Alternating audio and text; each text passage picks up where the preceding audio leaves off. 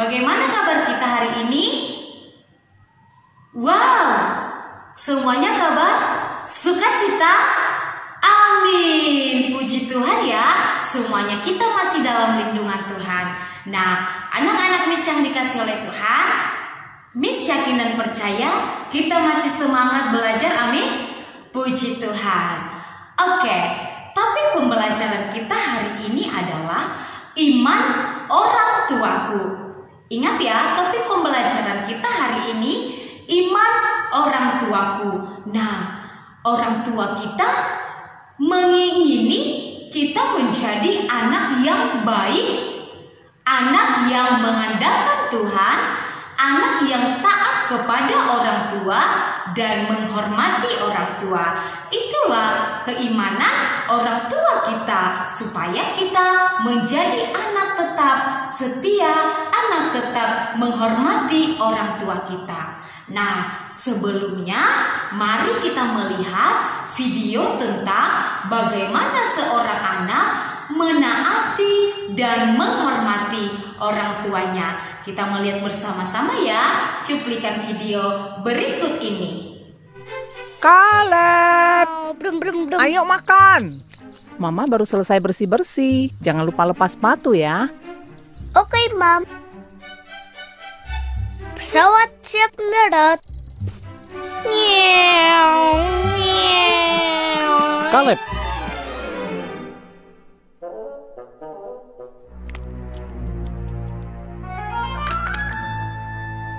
Mama bilang harus lepas sepatu kan?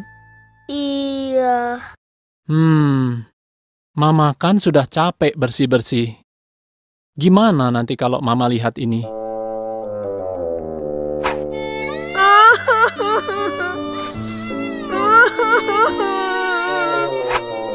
Maaf ya, Pak. Ya sudah, ayo kita bersihkan sama-sama.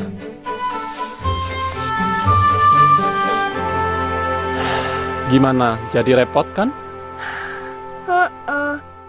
Tahu nggak, kalau kamu tadi nurut sama mama, kamu nggak perlu jadi repot begini. Nak, kamu disuruh itu karena kami sayang kamu. Itu demi kebaikanmu. Ingat waktu ibadat keluarga? Yang dari Efesus. Pasal berapa ya? Enam. Iya, pintar. Inilah yang Yehua minta dari kamu.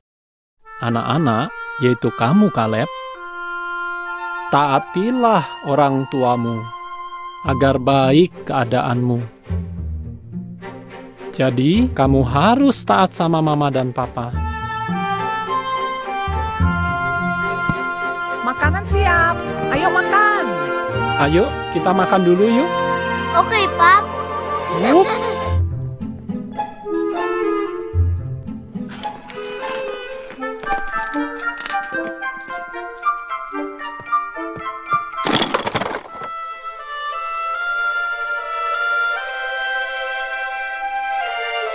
Makasih ya. Mama senang sekali kamu nurut. Yuk, cepat. Kakak sama papa udah nunggu. Sofia, menurutmu ini gambar apa? Bagus, semua sudah kumpul.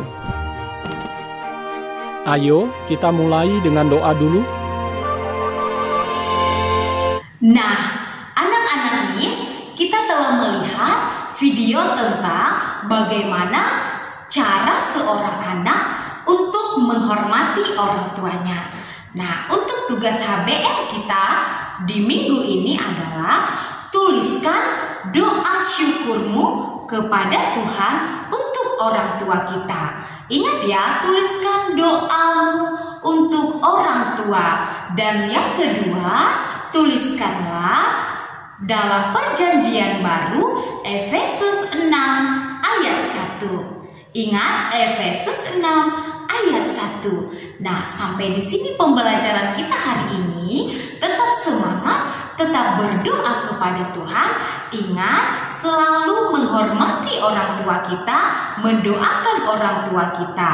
Tuhan Yesus memberkati. Shalom.